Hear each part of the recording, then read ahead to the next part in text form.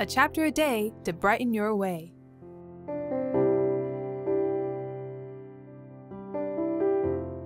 Can non Christians participate in God's work?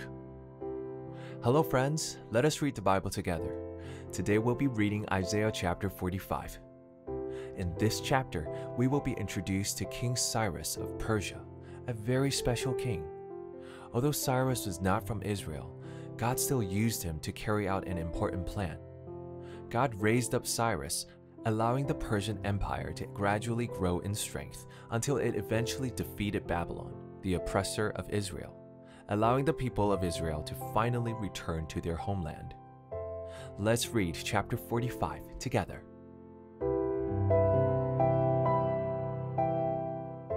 Isaiah chapter 45. Thus says the Lord to his anointed, to Cyrus, whose right hand I have grasped, to subdue nations before him, and to loose the belts of kings, to open doors before him that gates may not be closed. I will go before you and level the exalted places. I will break in pieces the doors of bronze and cut through the bars of iron. I will give you the treasures of darkness and the hoards in secret places, that you may know that it is I, the Lord, the God of Israel, who calls you by your name.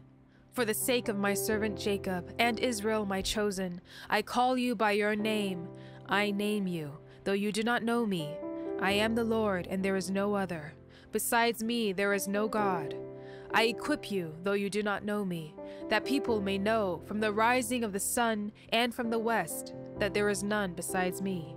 I am the Lord, and there is no other.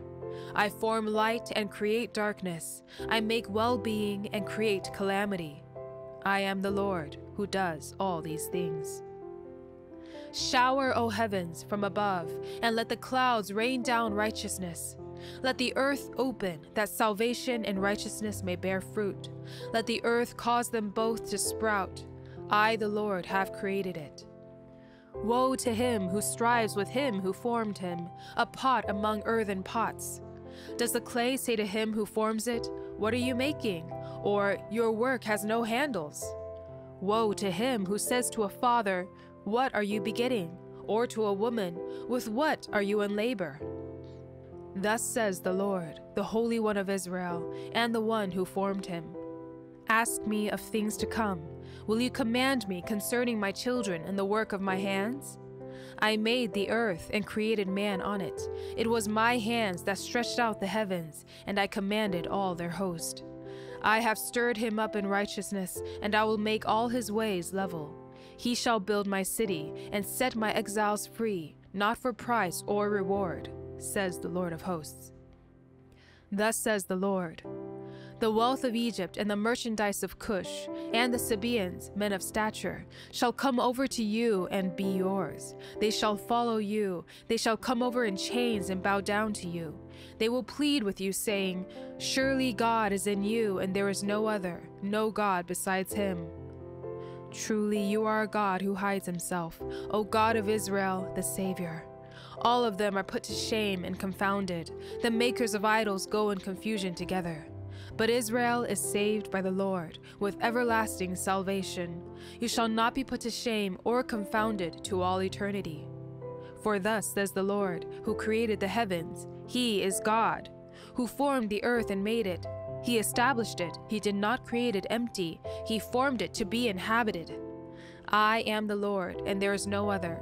I did not speak in secret in a land of darkness. I did not say to the offspring of Jacob, Seek me in vain. I, the Lord, speak the truth. I declare what is right. Assemble yourselves and come. Draw near together, you survivors of the nations.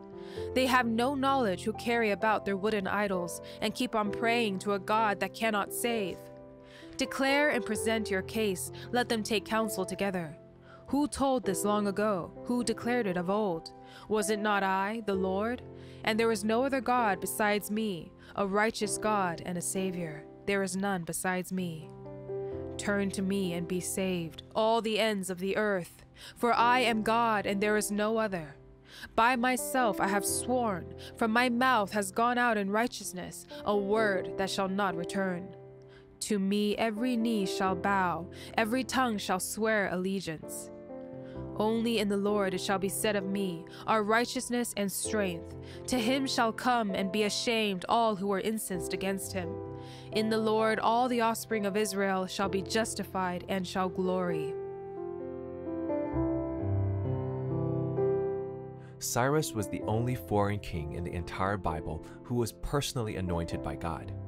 God gave him the task of saving the people of Israel, and Cyrus did not disappoint God.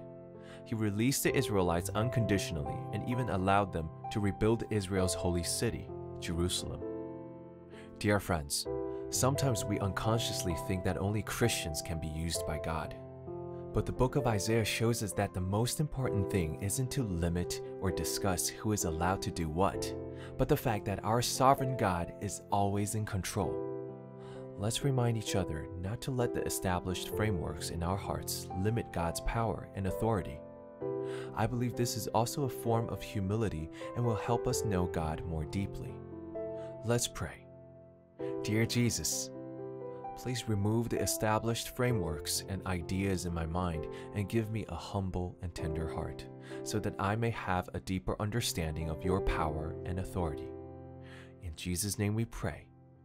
Amen. A chapter a day to brighten your way. See you tomorrow. Jesus loves you, and I love you too.